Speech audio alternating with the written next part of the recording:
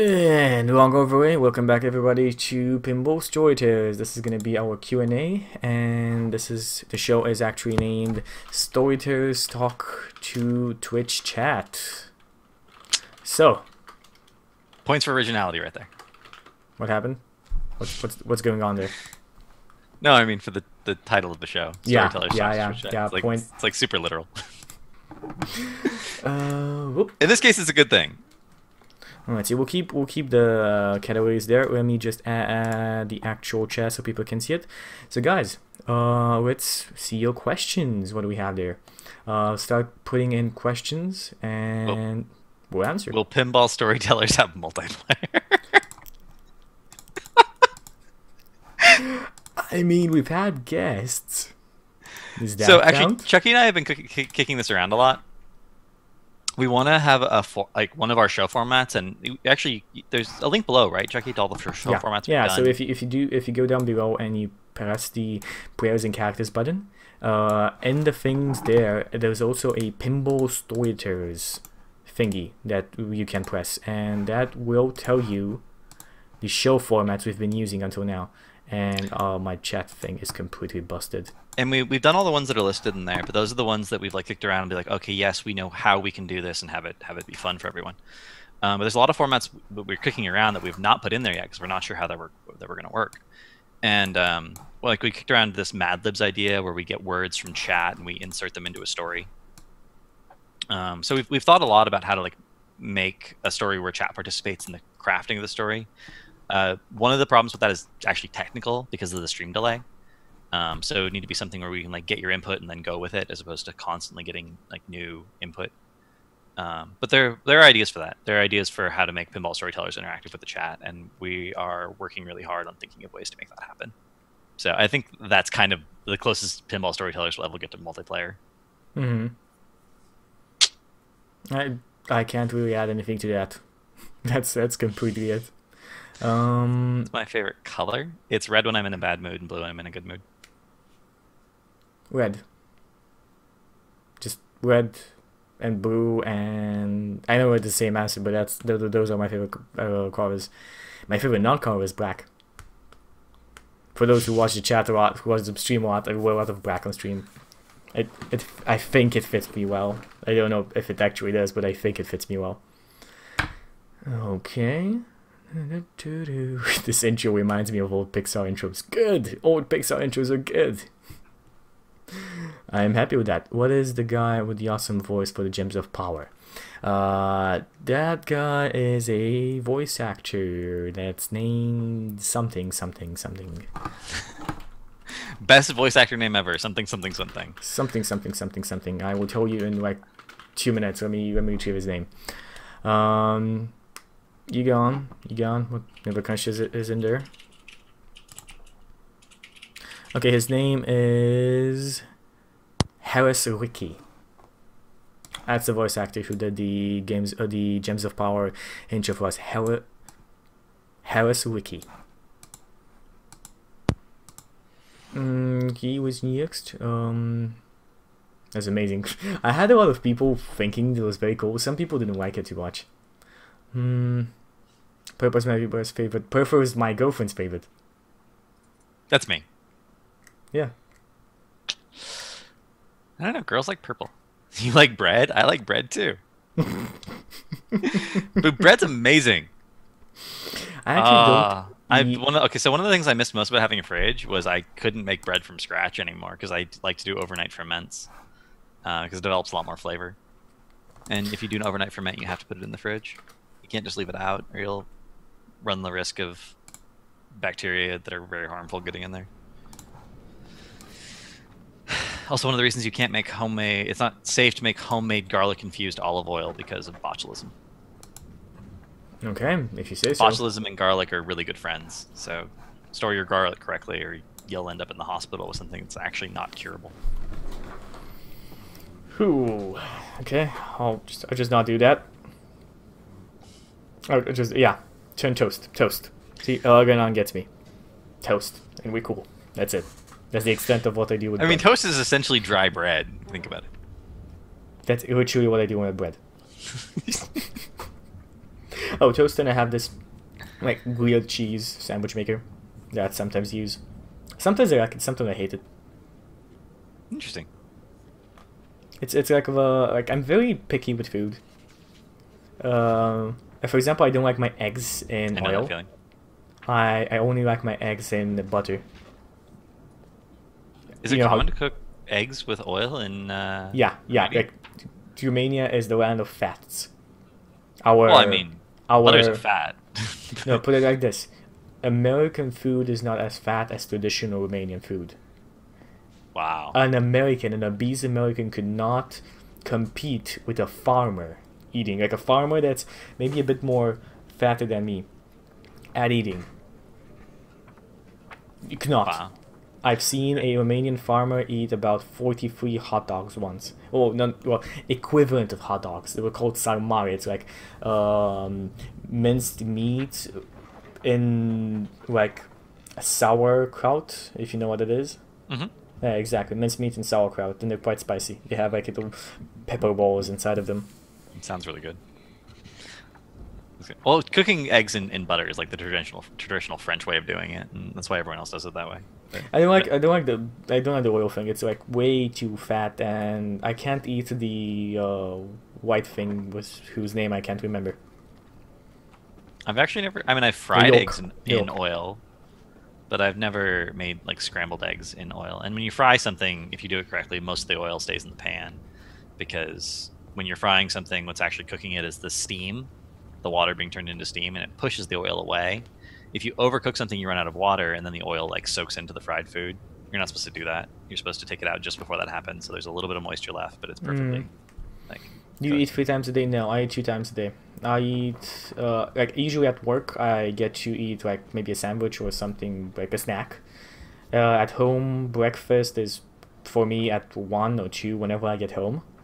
And after that, streaming is starting, and I either usually eat before that. I try to eat before that. Sometimes I can't, and I end up kind of a bit starving myself. Like for example, now I'm quite hungry, and eating after the stream. So yeah, that's about it. I usually eat two times a day, basically because of full schedule. So lately, I've only been eating like once a day, a big meal, because it's easier with the fridge. And normally, I like before I would have snacks and stuff prepared, and I could just grab something.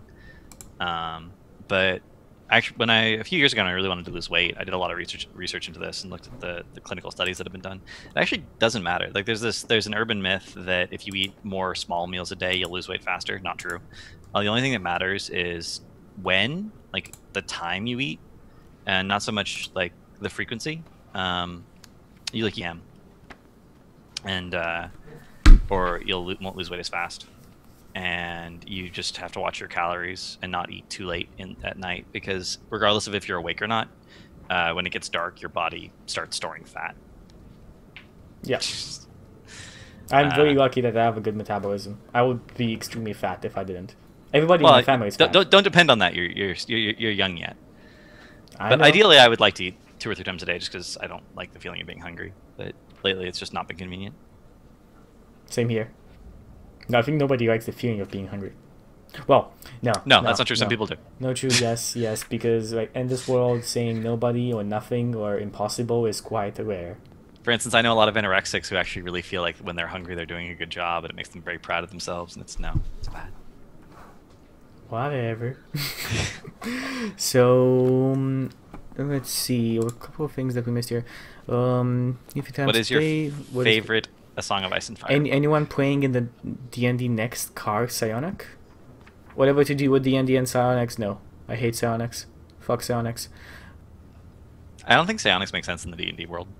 Yeah, Like I, psionics are fine. I just don't think they make sense in the context. I, I, I just don't like them. I never I never used them. I used them once. I hated it. I never used them again, in anywhere. It's like no, they, they have to do like a very big thing to bring me around on Psionics.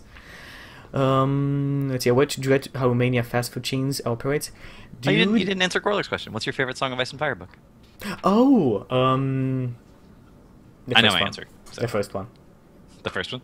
The first one. Um, I love the a storm one. of a storm of swords. Ooh, that's good as well. I mean, all of them are good. I was actually talking to somebody uh, and she was saying like she loved all of these series, and I said, you know, I I love them, but at the same time, I feel like if pe- a lot of people compare Lord of the Rings with Game of Thrones, I don't feel like you should compare them yet. Game of Thrones has- hasn't finished. You can't compare a series of books that has finished with another series of books that hasn't finished. Also, you can't compare something that stood the test of time with something that hasn't yet. Yeah. Like every generation has something they think is going to last forever, and Mostly don't. Yeah. Like like like musically, like who everyone remember everyone remembers the Beatles, right? But at the time, they were just considered a pop band, and it was a phase, and they were going to go away. And it's interesting.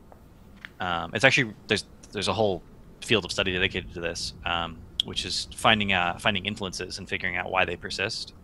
Uh, but the thing that made the Beatles persist was the fact that they did things differently, very technically differently with their music. And if you're not a musician, you might not understand that. Um, But you feel it, it as a it listener. changed all the music after that point. Um, and that's why the Beatles persist because they were they they did this thing that no one had ever done before and they made it work. And that's important, and you'll you'll Mhm. find that that's always the case. Uh, so Tolkien persists because he did something no one had ever done before. Not even close. Not even. Not even close. it. Like like Tolkien's work was unprecedented. High fantasy was basically unprecedented. Tolkien invented a genre with a wonderfully written series of books. that- Anyway, remember that that thing over under, like the series of books, is just literally a big event. Not even the, one of the biggest events in that age. Just a big event, and he had a whole world. He actually, Tolkien hated most of his uh, readers because they could not understand the scope of his writing. He did not try to. He tried to say, to, like, create an event in which he could tell a story, but at the same time, he was more putting focus on the world than the events. He was trying to show how big his world is, how varied, how immensely mysterious. and the problem was that it was so unprecedented that people didn't have a like a, a framework to Yeah. hang on, and and you'd be surprised how much that matters. Um, one of my favorite examples, and this is something everyone everyone can relate to, um, is all human languages. If you go back and look at them historically, they start out with a color. They start with a word for the color red, and then there's a word for either blue or uh, yellow or green, and then whichever one didn't happen, and then blue. When we don't have a word for a color, we literally can't see it. So they've gone and studied tribes who have no contact with uh, outside civilizations, and they only have their they only speak their own language. They show them they'll, they'll show them pictures of 13 green squares and a blue one, and they think they all look the same. They straight up say, "Oh, those are all the same color." And you go back and look at ancient Greek writing, they talk about the wine dark sea. They didn't have a word for blue. They, and when we don't have a word for something, when, when we don't have an articulated an idea, and put a symbol to it, we actually can't think about the idea. And we don't notice it. So Tolkien invented his own, and th- as, as a linguist, this is really easy for Tolkien. He invented his own words for these things. He invented his own uh, grammar and vocabulary for what he was doing, and then did it. And other people saw parts of it, but they couldn't see all of it because they didn't have the language. Exactly. And now we do, but it's because of Tolkien. Okay, we've spent, too much time on that. Oh, Uh, that's such a great question. I know. Let's see. I try to think about. Do Romanian fast foods are uh, actually healthier for you because, for example, they change the oil a lot, and, and like McDonald's because you can see it. Like they they've done this thing where they've put they were, they were needed by the government put them to put their fryers somewhere where the customers can see it, and they change the oil almost twice a day which for my favorite like other Americans they, like they don't in America they keep kind of the same oil for the for the full day for French fries. Also, they um, put a lot of water in the soda, so you're not actually drinking complete Coke. You're drinking a combination between water and Coke, which is not as unhealthy for you. Yep. Yeah. Um, you can't really compare. Let me see. Are Are mods mods of- obligated to be up to date on the game of books to deal with spoilers? Nope. Game of Thrones books. Nope. Okay. Everything that seems like a spoiler they can ban. Oh, Justin is right, just more accurate Wikipedia. I could ask you questions all day and feel like I'm becoming an engineer and doctor while doing that. cool. Yeah. Uh, okay. What if you're hungry probably- past 8 p.m.? True.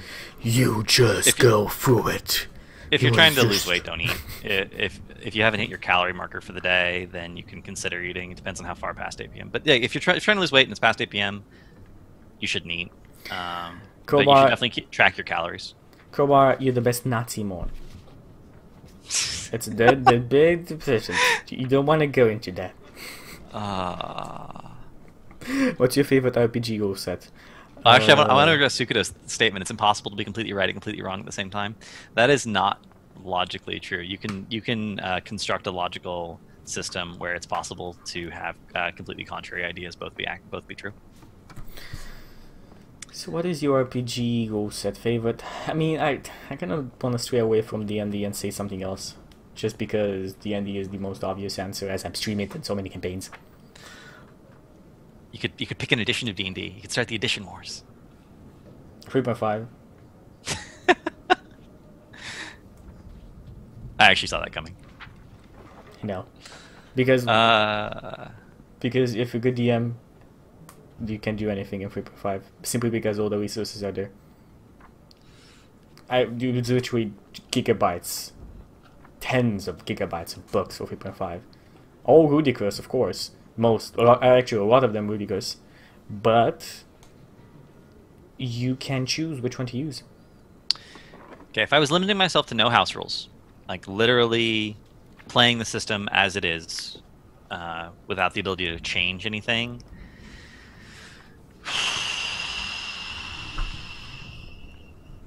It's really hard. I would I like to- might pick. I might pick 4E, like D, 4, fourth edition uh, Dungeons and Dragons. Um, I would have to say, you know what? If I had to state what the rules, I would have have to say Pathfinder. yeah, I mean, let's, yeah, one hundred 0.5. percent. No, it's very different, actually. Like, it's- Well, it's, I a mean, revised edition. It's It's similar. It's more similar than it is to anything else.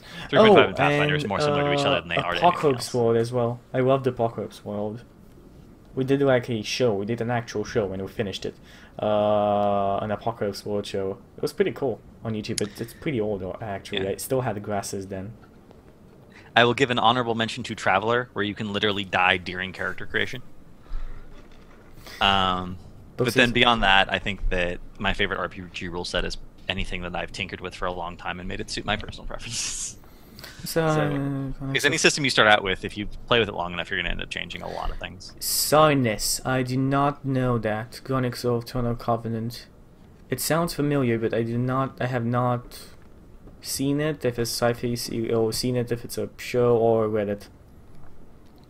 Play Chewie Neo. Well, Chewie Neo was good, but Chewie Neo is, is Chewie Neo for Neo. Like every DM you're gonna find is gonna have different styles, different preferences, and different wants for a system. You're never gonna find two DMs that will completely 100% agree on a system. Never find me two DMs like that, and I'll show you two people that have absolutely no social contact between themselves, Be- like be- with anybody else but themselves. It's like a lot of things are different because the perspective of which you see things with, and D and D is literally that as a DM. It's your perspective of the world as it is. Mm. How many different RPG sets have you played for more than three hours? Dark Heresy. I recently played only Were, which you are, and a couple of other mods. Uh, Mouse Guard, Dogs in the fucking Vineyard, I think, but I don't remember exactly the name of the rule set. Uh, Monsters, Mutants and Masterminds, 3.5, 5e. Um, Rogue Trader. Oh, this is like another 40k thingy. What else have I played? I feel I played like a no role, uh, like story, uh, story emphasized role playing game whose name I can't remember, but the simple role is what you make a you make a good story and that's it. It's like a very d- non rules apocalypse world. Um, I haven't actually played Dungeon World. I would like to. I've played 2B. I think in the one shots with Neil. No, it's that was that was two Neil, not two E. Or 2 Neo, whatever that is. It makes a big difference, trust me. I don't know it. I, I do not know two at all, so I don't. I wouldn't know. I played more than, definitely more than thirteen. I've, I mean, it's been so many years. I've been playing. I mean, I, I played the first time I played first edition D and D. I was four, So I've been playing uh, pen and paper uh, role playing games and other kinds of role playing games for literally as long as I can remember. Um, Haven't read the book the- of Exarcher Deeds. Yeah, go on. I don't know what. I mean, I know the book, but I haven't read it. Sorry, go on. I think I played D and D. Like I played all editions of D and D fairly extensively for it, you know, and then um, Vampire the Masquerade. Those are the ones I've invested the most hours in. But like I'm, I remember sitting around tables like trying out systems with friends, and I don't even remember the names of them anymore. When I was like twelve or thirteen. Andy Pellegrino, completely agree with that. It's impossible not to house room as a DM. If you have a DM experience of more than a couple of months, it's very hard not to like. If you have your own view of that stuff, it's very hard not to house, not to want to house room. You can do it, but to not want to do it.